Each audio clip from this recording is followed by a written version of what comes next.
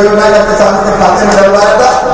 और अब छह सितंबर को चार हज़ार पाँच सौ करोड़ रुपया उन्नीस लाख किसानों के खाते में डलवाया जाएगा फ़सल बीमा योजना का